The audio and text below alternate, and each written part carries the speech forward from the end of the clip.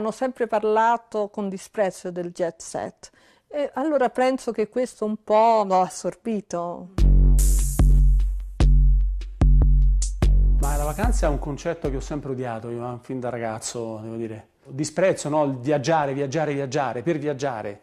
È un modo in realtà di evadere da se stessi.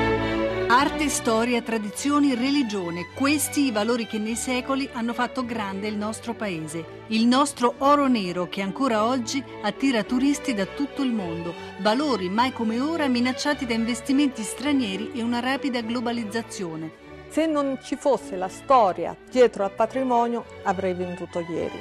Per la prima volta i principali amministratori del patrimonio privato più importante d'Europa aprono la loro casa e ci spiegano perché, invece di vendere tutto, hanno scelto una vita ritirata in un paesino della Ciociaria spendendo tutto in restauri e turismo culturale e religioso e non facendo mai vacanze.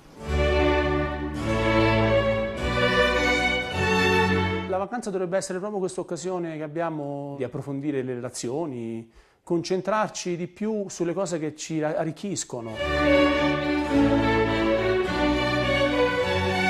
110 appartamenti in centro a Roma, Villa Panfili come residenza estiva, la collezione privata di quadri più grande d'Europa e più prestigiosa al mondo, con Caravaggio, Tiziano, Velázquez, Lippi, Borromini. Palazzo del Principe a Genova con letti e arazzi di Andrea Doria, una collezione di gioielli che getta ombra sui marchi italiani più famosi nel mondo.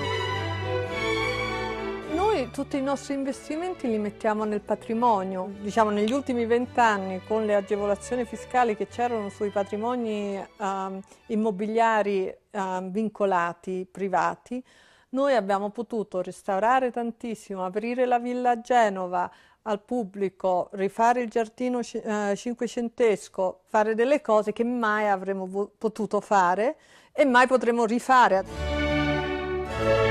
ama vestire e spendere più, più, di tanto, quindi questo concetto un po' del lusso italiano non le appartiene. È un po' la mia anima sia perché io sono sia genovese sia scozzese, questo un po' sarà... Uh, io se mi piace un vestito lo compro e non mi importa proprio chi l'ha fatto. L'abbazia di San Fruttuoso, tenute a Valmontone, Lago Peso, le Melfi e perfino l'obelisco e la chiesa di Piazza Navona. Queste le proprietà tra le quali è cresciuta Ghesine Doria Panfili. Però non erano proprio case di vacanza che eh, uno andava a passare il mese di luglio lì o agosto. Beh, erano feudi principalmente, allora erano uh, posti di lavoro per chi ci lavorava, un reddito di famiglia, un segno di potere anticamente. Ora trascorre il mese di agosto a Campocatino, Ciociaria, 2000 metri, paese più vicino con pochi amici, Guarcino, fuori dalle rotte mondane come da piccola quando era in vacanza con i genitori. Noi le vacanze erano sempre in famiglia, però eravamo abbastanza soli con marito diacono e quattro figlie. Massimiliano Floridi, già due volte nonno, è romano, ma ha le sue radici a Guarcino. Qui ha trascorso le sue vacanze ogni anno per tutta la vita. Per me questo è stato proprio diciamo, ritrovare il senso della vita, no? Del, de, delle cose, perché senza, senza le relazioni, senza questa appartenenza agli altri, siamo come delle cellule impazzite, no? come dei tumori alla fine, perché ci riproduciamo ma non sappiamo a che scopo. Siamo andati tutti verso mare o verso le grandi città, no? o, o pianura padana o le coste. E l'Appennino è rimasto così. Ma qui si trovano però le nostre radici, no? di quasi tutti noi.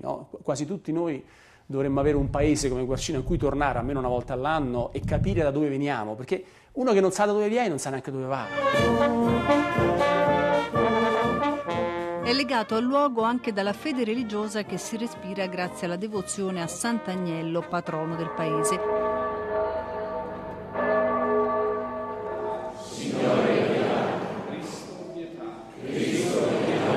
Dal Vangelo secondo Luca. Ci sono molte processioni in Italia che in realtà sono diventate solo folklore, non c'è più nessuna fede dietro, vengono fatte per i turisti. No?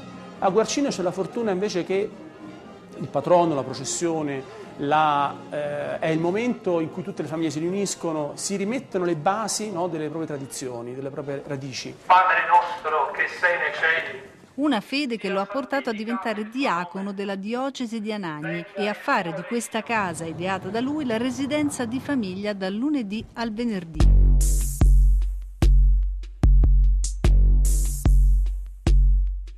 Costruita su un rudere del posto da fuori, la casa è invisibile. Il vero lusso è poter decidere di fare quello che uno vuole tranquillamente senza seguire ciecamente dove vanno tutti gli altri. Si entra da un tunnel che la fa sembrare un po' la residenza di Batman, un po' una navicella spaziale.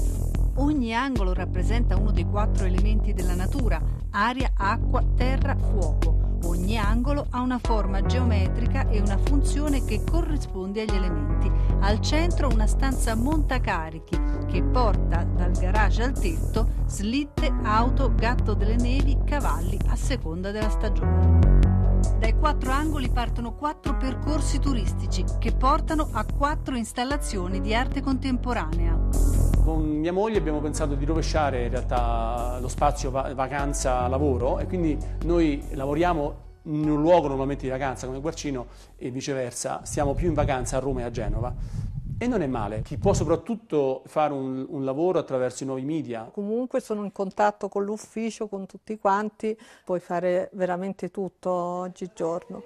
Uh, basta che c'è una connessione internet ci dicono che viviamo in un acquario perché è talmente vetrata, no? c'ha tanti vetri che eh, la casa è piuttosto aperta no? quindi chi scia ci vede magari che ci muoviamo dentro casa. A me questo fa così piacere, non è che mi, mi disturba. Noi siamo abituati poi a una vita, in, quando andiamo in città, noi abbiamo addirittura il pubblico dentro casa, no? io si, si apro una porta ho i turisti fuori dalla porta, quindi siamo assolutamente abituati a, essere, a fare una vita diciamo, pubblica.